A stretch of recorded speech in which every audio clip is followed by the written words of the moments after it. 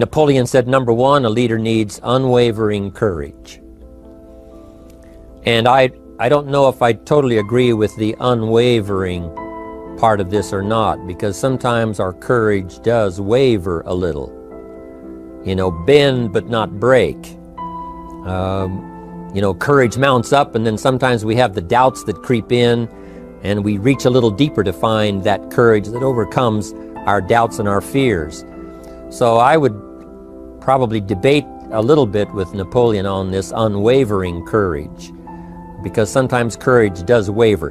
But as long as it stays, as long as the, in the end there it is to serve you, uh, the courage to do what you didn't think you could do, the courage to step into territory that might be a little unfamiliar, the courage to talk to somebody you don't know, the courage to attempt conducting a meeting, the courage to give your first testimonial, uh, the courage to, uh, you know, solve problems you couldn't solve before, that kind of courage. Uh, the courage to stand up when it's sort of dark in your corner, the courage to do it when it isn't going your way, seemingly, uh, the courage to try to have a good day in the midst of a bad day, that kind of courage. Wavering a little at times, yes, because we all have doubts that attack us, we all have uh, small fears that creep in. That is the nature of life. But that's what faith is all about. That's what courage is all about to serve us when our doubts will not serve us well. Faith to overcome fear and courage to overcome our doubts. But that is a good quality, a good attribute for a leader, and that's unwavering courage. Second, Napoleon said self control. That, of course, is the very essence of life itself, is self control. Because we all have this warfare going on. You know, it's going on in the world, the warfare between liberty and tyranny. Uh, in our own body, the warfare between health and illness, the struggle is on. Uh, the struggle between light and darkness, the struggle between good and evil. I call it opposites in conflict. And as soon as you're born into the world, as soon as you find yourself and discover yourself on this spinning planet headed somewhere, you know that this exists. Uh, to be a civilized society, we must drive the dark side of our nature into a small corner and let the positive side flourish. Uh, early, we must learn to exercise self control. Uh, power is a wonderful thing, but it must be exercised properly. It must be exercised to benefit, not to destruction. So, self control is certainly necessary uh, to be a strong leader so that you can become the best example. The example of having your temper well managed, to having that dark side of your uh, nature under control, the best example of choosing wise words and not being careless, that kind of control. Uh, control of your appetite, control of your um, desires, so that they fit into the positive side of life and not the negative side. Self control, very important. Then he said a leader must have a keen sense of justice. How very true. Justice we become familiar with, you know, even when we're small. When certain things that happened or were done to us that we, something told us that wasn't right.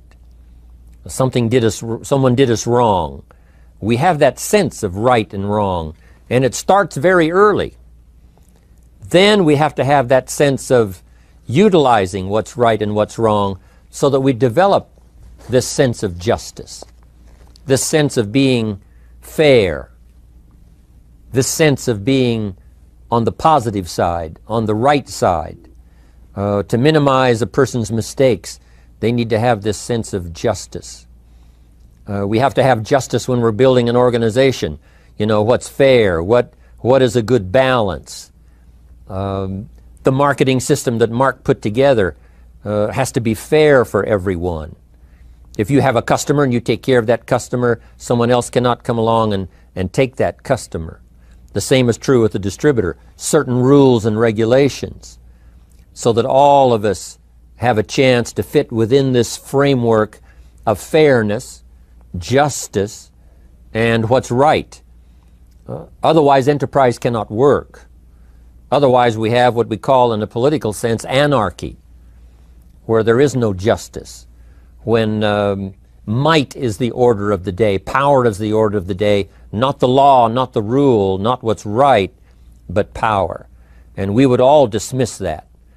It's been a catastrophe in the last 6,000 years, uh, the governments that resorted to power instead of democracy, that resorted to intimidation instead of freedom. And we all know the terrible toll that that takes. But it takes a toll not only politically in a country or politically around the world, but it takes a toll even in enterprise. It takes a toll in school if a teacher is unfair. It takes a toll in working on a team where someone is unfair or where the leadership is not fair in the administration of justice. So this is true. A keen sense of justice and what's fair and what's right. Part of this we have to learn as we go. You know, you don't have it all the first year. You haven't got it all the second year, the third year. After all the years that I've, you know, been around, uh, both as a human being and as a, as a business person, we're still, even at, at these years, trying to decide what's best, what's fair, what's right, uh, to give balance to our life and to build on a firm foundation for the future. So I agree with Napoleon. Good idea. A sense of justice. Here's another one he said definiteness of decision. Indecision is the thief of opportunity. If you don't decide, the opportunity could slip away. If you don't decide what you're going to do today, the day could get away and you're not very effective. I talked about in my recent travels uh, about time management. Here's one of the best ideas of time management. Don't start the day until you have it finished. Is it possible to finish the day before you start it? And the answer is yes. If you don't finish it to the best of your ability, have some idea, some good plan, sure enough, the day escapes and in the morning you say, let's see, what should I do now? In the afternoon you say, hey, time's getting away from me, what should I do now? And now most of the day is lost. Most of the day escapes not being utilized and uh, doesn't work for you simply because uh, you didn't make those decisions early, at the early part of the day. The decisions we make in the early part of our life sometimes last for a lifetime. The early decisions that you make about what you're going to do with your life as far as Herbalife is concerned. Those decisions are vitally important. If you neglect them and don't make them, sure enough, the time passes and the opportunity sometimes is diminished and sometimes you spend a lot of time now catching up simply because you didn't make those early decisions. So it's the decisions at the first of the day, it's the decisions at the early part of the month, it's the decisions at the early part of the year that greatly determines what kind of year you're going to have the, the decisions you make in the early uh, days of your marriage, sometimes those are the decisions that affect the marriage for a lifetime. The decisions you make at the first chance you see opportunity, those decisions, what you're going to do with it, how far you're going to take it, what it's going to be uh, meaning to you in the years to come. Those early decisions are vitally important. Then we need decisions to correct poor decisions to overcome our mistakes. It's possible, of course, for all of us to make unwise decisions. And at the end of one year, at the end of one week, one month, or at the end of a few years, we say, that decision cost me too much. Cost me a lot of time, cost me a lot of money, uh, cost me maybe a good relationship, uh, cost me a chance to be productive. But as long as you're alive, there's still a chance to use new decision power to correct the mistakes of decisions that were bad in the past. All of us have the opportunity to do that, but I think Napoleon was right here too. You got to be definite in making decisions so that the opportunity doesn't pass you by. Take advantage. Here's the next one. Napoleon Hill said, a good leader has definite plans. How important that is. And of all the years, I think, to cash in on Herbalife's momentum and make some plans for the future, this has got to be one of the greatest years. Herbalife in these 18 years now has created some incredible momentum, not only in opening up the countries, but momentum in the refinement of our marketing, uh, momentum in uh, developing new products, uh, momentum in developing our support system. The key is now for you to make plans to ride on that momentum. Herbalife is like the tide that comes in, and the rising tide lifts all the ships if they're in the water. If your ship and your boat is not in the water, even though the tide comes in that would lift all the ships, uh, if yours is not in the water, then it doesn't benefit you. So here's what you should do have the same intensity to make your plans for the future as Mark Hughes has. As the president's team, Chairman's Club especially make the plans for the Herbalife Company future, you've got to now make your plans. Uh, don't let this momentum pass you by. Don't let this momentum go uncashed in on. Uh, don't let it be like a lost cause for you. And maybe you've, because of the lack of plans, have lost a month or two, or you've lost a week or two, or maybe you've lost a year and you were 10% effective instead of 100%. Now's the time to change all that and start making some plans. Your Herbalife plans, they're vitally important. You might as well cash in on the Herbalife plans for world expansion, the Herbalife plans for expansion within your country, uh, the Herbalife plans for the expansion of the business, the incentives. You know, cash in on that, capture that, and say, I've got to have some plans that match Herbalife. Not necessarily match Herbalife in numbers, but that can match Herbalife in momentum, that can match Herbalife in cashing in on the opportunity, your plans for Herbalife expansion. You got to have some plans for your family. All right, you got to take your family along. Don't leave them out. One of the challenges all of us have in making our plans is how to balance everything. Uh, to make sure that we don't regret at the end of a year, I spent too much time on that. I spent too much money. And then if you have, say, how can I not do that again? And construct some better plans uh, so that you won't have any regrets at the end of a year to come, five years to come, three or four, five years to come. Definite plans. The plans for the use of your money.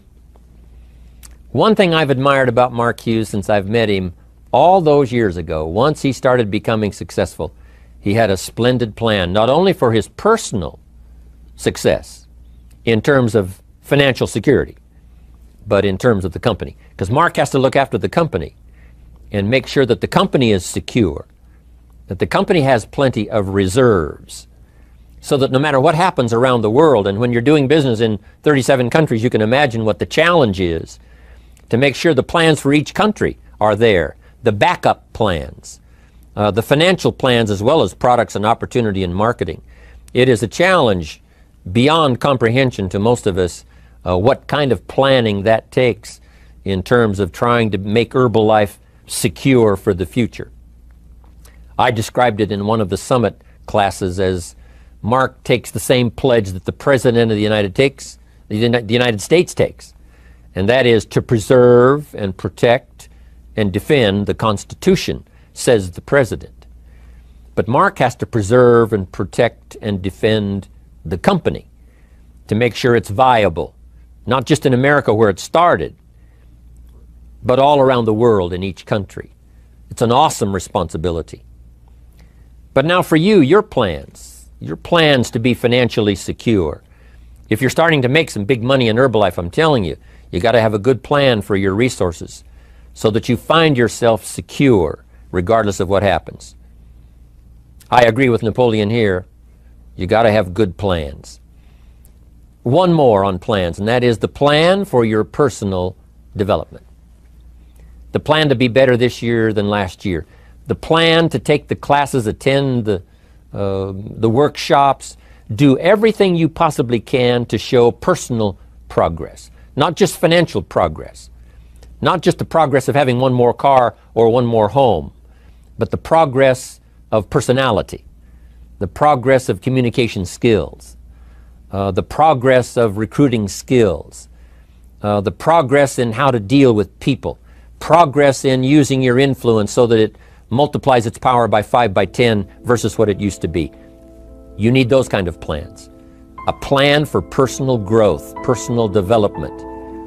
A plan to be all that you can possibly be in the years to come as you develop your Herbalife business and your life business and your family business, all of that. Got to have good plans. Next, Napoleon Hill had a good saying. It was something my father had and passed it on to me as a good philosophy. And here's what he said A good leader has the habit of doing more than what he gets paid for. What an incredible philosophy this is. The habit of doing more than you get paid for. It's what we call the service that you put out like seeds in the ground that doesn't bring the harvest immediately, but the harvest is yet to come. It's called like putting out the capital in capitalism. Uh, doing more than you get paid for means that you're getting ready for the next move up. Because if you do more than you get paid for, you've made an investment. Uh, the average person might think if I do more than the company requires, uh, you know, then they're ripping me off. You know, I'm not getting paid for that extra time, that extra attention. But you must not view it that way. You must say, I'm getting there a little earlier, staying a little later, as an investment in my own personal future. Because I want that kind of reputation. I want that kind of philosophy to work in my life. Do more than you get paid for. And this philosophy works incredibly well in Herbalife. You make the Herbalife sale of the Herbalife products. Now you must do more than you've gotten paid for. Right? They've got the product, you've got the money. But you can't stop your investment there. Now you must develop the investment in time, effort, and energy in turning that new customer into a testimonial. And sometimes that's the most difficult work, the work after the sale. Because the sale might be fairly easy. Someone says, hey, I've been looking for this product, I need it, here's my money. But now you've got to stay with them, make sure they don't just buy the product, but that they use the product. And that they don't just use the product, they keep using the product. That's the work after the sale. But if you learn to make that kind of an investment and do more than you get immediately paid for, the payoff in the future can be fantastic. Because as we all know in Herbalife, what really pays off is not a sale of the product. What really pays off is a testimonial. A testimonial that gives you more sales than you can keep up with. A testimonial that takes you places you could never go by yourself, introduces you to people you'd never see on your own. That kind of investment is so powerful. So you do more than you get paid for up front. It's happened for me, making the investment. When I first started lecturing 36 years ago, I talked to high school classes, college classes, uh, service clubs, and I gave it all away. I went and talked for free. Someone said, Mr. Rohn, would you come and do this breakfast talk? I said, sure. Uh, could you do this luncheon talk for this service club? I said, of course.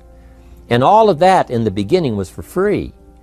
Primarily because I'd made my fortune, you know, I didn't need the money, but um, I did it for free, but look what it's made for me by giving that kind of service in those early days. And finally, it led to business and led to an enterprise. And I was giving the seminar all those years ago here in Los Angeles, and Mark Hughes was in my audience. So what you don't get paid for, don't worry about that. Just render the service with the vision of the future that it'll come back multiplied if you have this kind of habit, this kind of philosophy. Next, Napoleon Hill talks about personality. You need a pleasing personality. There's many parts to your personality. One is your working personality. You know, the kind of behavior, the kind of attitude that you need, especially in the public. Some things you can kind of get by with being a little careless, maybe in private, but in public, where it counts so much in your paycheck, it counts so much in building your business for the future, your own personality. But here's what you also must remember you develop your personality in private so that it serves you well in the public. Sometimes we get the mistaken idea I can be careless with just these few and be more careful when I have a thousand. But see, that doesn't work that way. Careless with a few, sure enough, that will creep into your presentation for a thousand people. Here's the best practice, and the Herbalife opportunity in our marketing systems gives you the best chance to do that. Uh, the influence you have one on one, that's what really counts. You say, well, I'm only talking to two people, it doesn't matter much. That's when it really matters. Because if you'll practice well there, using your personality, using your influence, to get someone's attention, to get them to listen, uh, to get them to participate, the kind of personality that someone says, I'd like to be around this person. Uh, they're unusual. They're not like the average person I meet on my everyday experience. That kind of personality. But you've got to practice it behind the scenes. You've got to practice it one on one. And if you're effective one on one, one on three, one on five, I promise you, that will get you ready uh, to now perform with the kind of personality, the kind of charisma that wins people when you're in front of 500 people, 1,000 people, 5,000.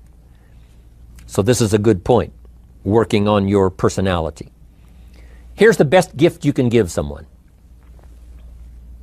And that's the gift of attention. Attention is so powerful. When I was a young man, I met Nelson Rockefeller, one of the richest men in America at that time.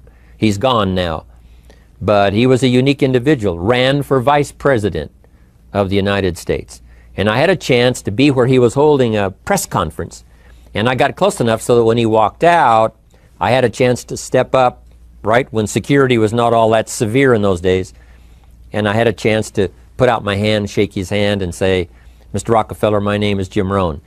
And what I remember most was the attention he gave me. With the lights of the cameras around and everybody all around, he looked right at me and said, Jim Rohn, where are you from? I said, Idaho. He said, I really like Idaho. It's one of the, my favorite states in all of the country. And for just a few seconds, he gave me his attention, shook my hand. I'll never forget the handshake, right? One of those multi million dollar handshakes. But I'll never forget that personal attention he gave me, just for a few seconds. It was powerful. Made an impression on me that's lasted until this day. That's why I remember to tell the story. So, same thing you can learn to do. Utilize your personality, utilize your influence, give people the gift of attention. Here's the rest of my list now as we finish up. Next, Napoleon Hill said a leader needs sympathy and understanding. We have to develop that early in our lives. All of our lives, we have to look at those that are less fortunate than we are, those who need a helping hand, and especially now we learn to look at those who need an opportunity, those who need a change in their health, those who need a change in their life and in their lifestyle. It's this kind of sympathy and understanding that drove Mark Hughes to construct the company.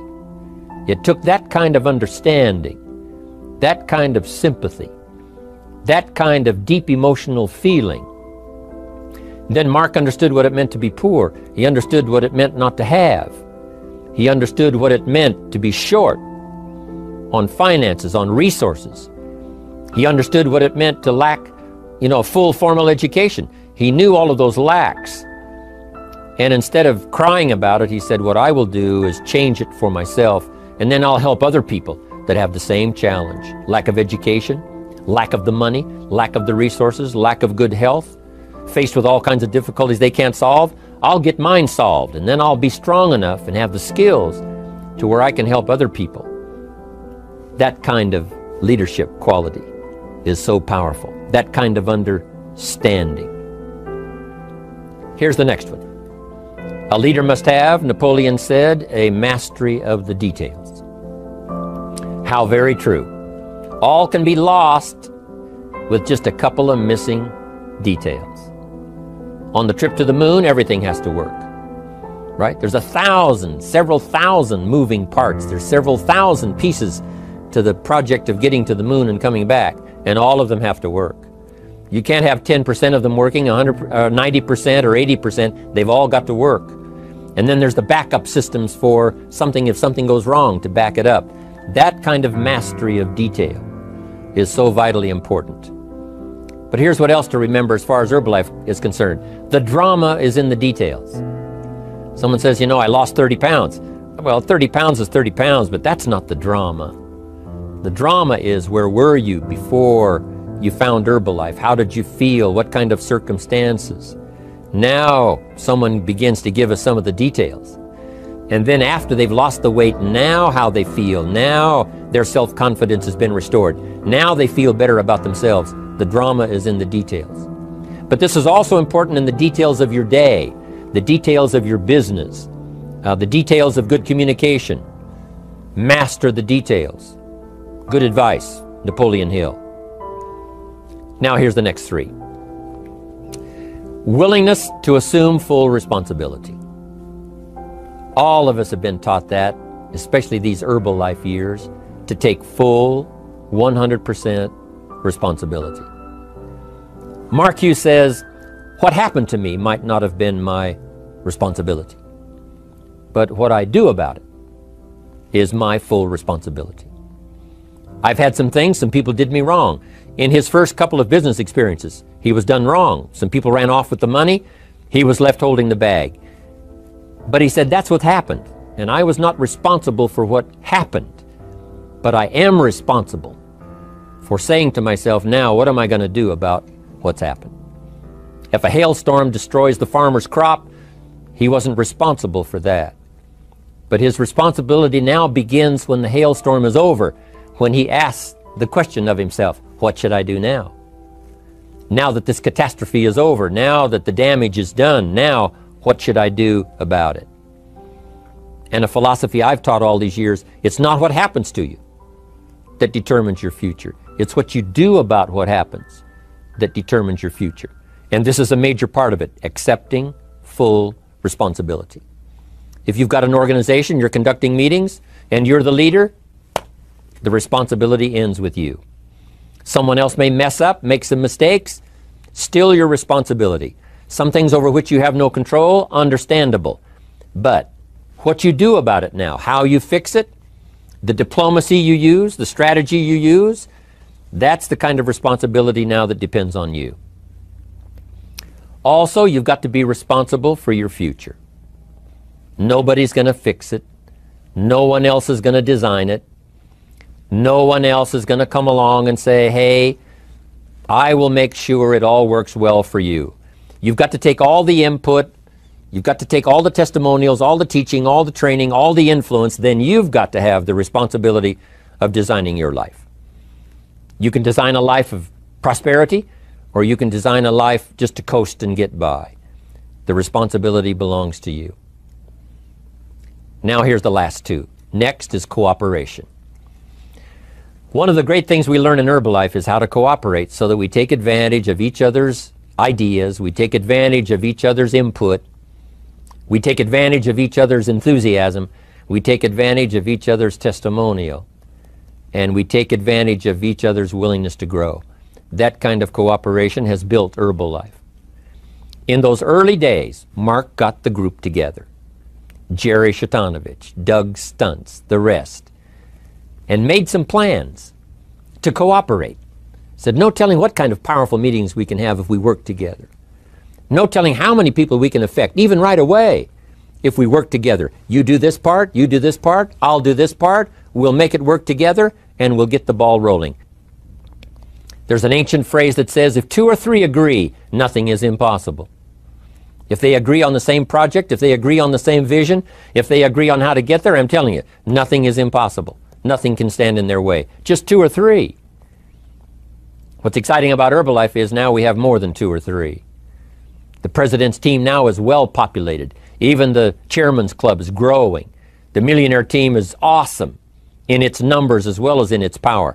And the cooperation between all of us on the tabulator teams, as distributors, home office, support staff. 15th floor, wherever we come from. If we cooperate, there's nothing we can't do. There isn't anyone we can't touch. There is no country we can't finally get to with this incredible story. Cooperation. That's why I'm here, wanting to do my part, HBN, send out some ideas, give you some notes to take, something to think about and ponder, something to talk about with the people that you associate with and are building your business. That kind of cooperation is going to make this a powerful year. It'll get us to the 2 billion, 3 billion, 5 billion. But it'll get us to much more than just those numbers. It'll get us to a place of honor, respect, prestige, influence, feeling good about ourselves for the hard work that we're doing cooperating with each other. I want to cooperate with you, helping build your business. All of us cooperate with the support system of Herbalife. We're on our way. We will have the billions. We'll have the stories. We'll have the experiences.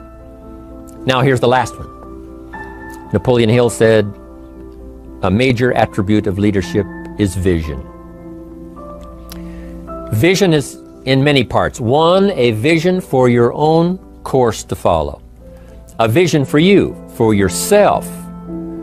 A vision for your financial future. A vision for your health. A vision for your wealth. A vision for you to latch onto and make something out of. A vision for your family. Because vision must now lift others as well as ourselves. Guess what our family is counting on? That will be able to see things that at first they cannot see, that will be able to look further into the future than perhaps they will be able to look. The same is true with your organization, the people that are around you. They're counting on your vision. Perhaps you've been there a little longer than they have. Maybe you've been there a lot longer than they have. And they will look to you to help them see things that they can't see in the beginning. And if you will do that, develop that attribute of leadership, I'm telling you, You'll have such a dramatic effect on your organization, it will be unbelievable. A vision for yourself, a vision for your family, a vision for your organization, a vision for the people that you're close to. The old prophet said, without vision, we die. We perish. Unless we can see into the future, life loses its meaning. Unless we can look further than just where we are at the moment, then we have no reason for faith, no reason for activity. But if we'll develop this skill, beyond any other skill, I'm telling you, it will help us touch people because they'll want to be around us because we have this look into the future. Not only the short range vision of what we're going to do this week, this month, this year, but the long range vision like Mark has taking us to the 5 billion. You can have a vision that will take your organization into the future and bless everybody with success.